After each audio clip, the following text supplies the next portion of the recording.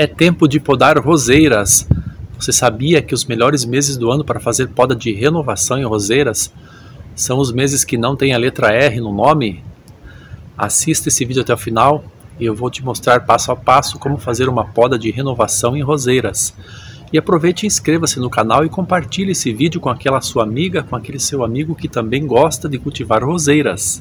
Poda de renovação é aquela poda que nós fazemos uma vez por ano nas roseiras, para que elas façam novos galhos vigorosos e encham de flores. É uma poda sempre feita nos meses que não tem a letra R no nome, porque aqui no hemisfério sul estes meses coincidem com o outono e o inverno. E nesta época do ano, as roseiras já transferiram todos os nutrientes que foram formados aqui nas folhas e nos ramos para os troncos e para as raízes. Na poda de renovação, eu tenho que deixar poucas gemas de crescimento, que são essas estruturas aqui. É por essas estruturas que a planta vai desenvolver os novos brotos e as novas flores. A maneira correta de você fazer a poda de renovação é você vir aqui no pé de roseira, identificar as gemas de crescimento. Temos uma aqui, olha. Temos outra deste lado.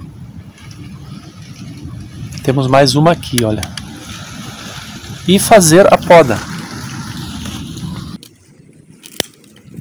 Deixando entre duas e quatro gemas para cada um dos galhos. Aqui eu tenho outro galho que tem uma gema de crescimento e aqui tem outra gema de crescimento. E lá eu tenho outro galho. Aqui tem uma gema de crescimento e aqui tem outra gema de crescimento.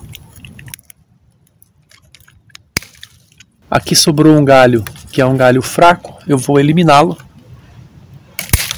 E está aqui a poda de renovação. O ano passado, este pé de roseira só tinha este galho. Por isso eu deixei quatro gemas de crescimento. Este ano, como ele tem muitos galhos, eu vou deixar apenas duas gemas de crescimento para cada um dos galhos. Se eu deixar muitas gemas para cada galho, os brotos que vão sair serão brotos mais fracos e as rosas serão rosas menores. Então eu venho aqui em cada um dos ramos e identifico as gemas de crescimento. Aqui tem uma, olha só, e aqui tem outra. E na sequência, depois que eu identifiquei as gemas de crescimento em cada um dos ramos, eu vou pegar a tesoura de poda e fazer um corte em bisel. Corte em bisel é o mesmo que corte em diagonal. Esta forma de podar as roseiras impede que a água da chuva ou da irrigação pare aqui. Se a água parar aqui, ela vai favorecer o aparecimento de doenças que vão acabar contaminando a planta. Outra coisa importante é fazer o corte aproximadamente um centímetro para cima da gema de crescimento. Se eu cortar muito longe, tudo que sobrar aqui vai acabar apodrecendo e a roseira não vai conseguir cicatrizar. Depois de fazer este corte, é importante esterilizar este local usando própolis ou canela em pó.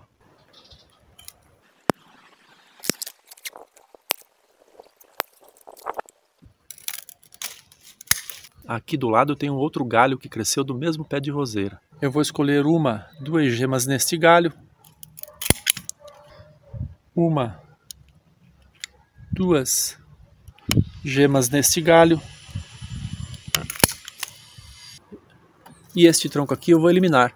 Venho aproximadamente um centímetro do broto que eu escolhi deixar e faço um corte em bisel ou em diagonal. E antes de ir podar a próxima roseira, eu venho aqui e esterilizo a lâmina da minha tesoura em água misturada com água sanitária. Aqui mais um exemplo, temos este pé de roseira que foi podado aqui em julho do ano passado. Ele fez esse broto que já foi podado aqui e fez este outro broto. E agora na poda de renovação, eu deixei duas gemas nesse galho aqui, que é um galho mais fraco. E nesse galho que é mais vigoroso, eu vou deixar uma, duas, três, quatro gemas de crescimento lateral. Está aí. Poda de renovação é assim mesmo, é uma poda drástica, onde nós deixamos poucas gemas por plantas. E ela também pode ser usada para rebaixar aquelas roseiras que cresceram demais.